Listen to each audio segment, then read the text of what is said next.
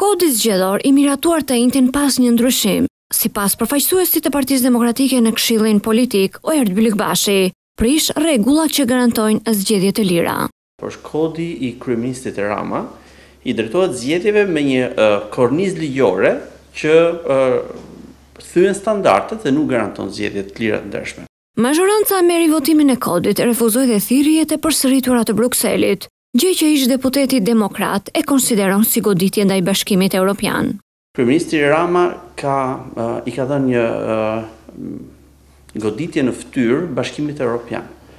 atij që na ka përcaktuar si kusht të rëndësishëm një reformë gjithëpërfshirëse konsensuale zgjedhore që arrin standarde ndërkombëtare dhe jo jo një reformë e njëanshme që prish standardet e zgjedhjeve në Shqipëri. Bylykbashi sqaron pse nuk qëndron argumenti i kryeministrit, i cili ka thënë se presidenti do të minojë zgjedhjet. duke e çuar Kodin për Opinion në Komisionin e Venecias. Kjo është një gënjeshtra e madhe e Edi Ramës që përpiqet të thotë një diçka për të mbrojtur pozicionin e pambrojtshëm të tij. Rregullat që u vendosën janë rregulla të cilat nuk hyjnë në fuqi përpara datës shtatëmbëdhjetë shkurt, kur është regjistrimi i partive politike dhe më pas fillon regjistrimi i koalicioneve dhe kandidatëve.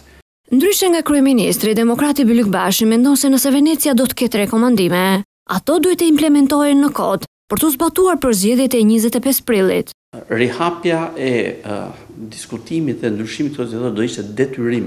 Nëse sistemi zgjedhor në dhjetor do të konsiderohet në shkelje me standardin, Parlamenti i Shqipërisë duhet të ndërhyjë menjëherë dhe para datës shtatëmbëdhjetë shkurt, nga dhjetori deri në shtatëmbëdhjetë shkurt, të ketë ndryshuar rregullat dhe të ketë rikthyer gjendjen në mënyrë që kur të regjistrohen subjektet, zgjedhjet të paktën një pjesë e standardit të jetë e arritur.